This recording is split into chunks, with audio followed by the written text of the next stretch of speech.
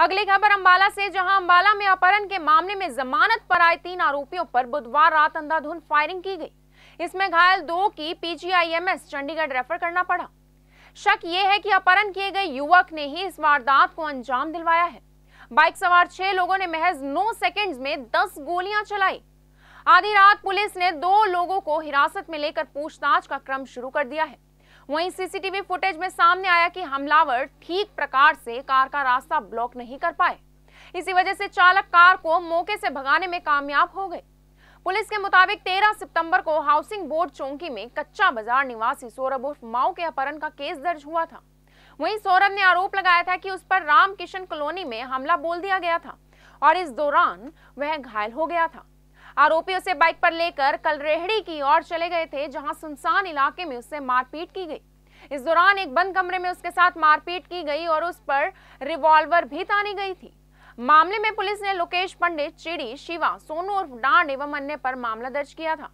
अपहरण के तीन आरोपियों में से कुम्हार मंडी निवासी जीतू उर्फ़ दिवाकर को बुधवार को ही जमानत मिली थी। कल रेहड़ी निवासी 24 वर्षीय मनीष और हिम्मतपुरा निवासी करीब 30 वर्षीय सोनू उर्फ़ दो दिन पहले जेल से बाहर आए थे। वहीं बुधवार को तीनों दिन भर साथ रहे।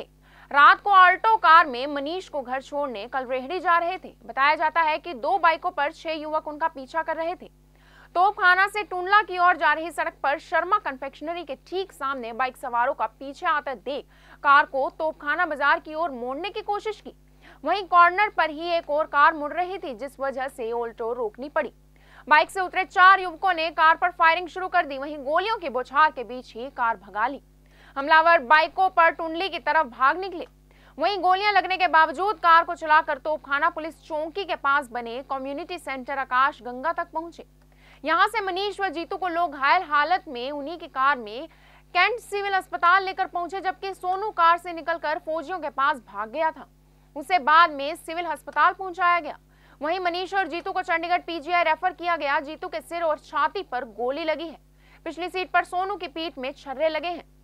जी हाँ, सोनू ने हमले का शक कच्चा बाज़ार निवासी सौरभ उर्फ़ माऊ पर जताया है। सीसीटीवी फुटेज में सामने आया कि बुधवार रात आठ बजकर उनतीस मिनट पर हमलावर ठीक प्रकार से कार का रास्ता ब्लॉक नहीं कर पाए।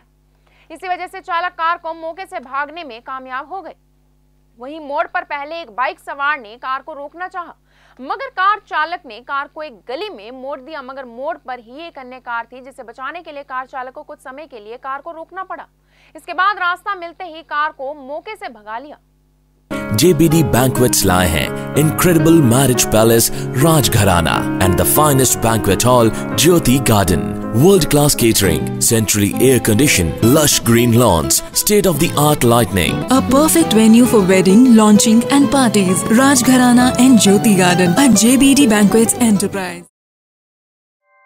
ऐसे ही लेटेस्ट खबरें पाने के लिए बेल आइकन को क्लिक कर हमारे चैनल को लाइक शेयर एंड सब्सक्राइब करें धन्यवाद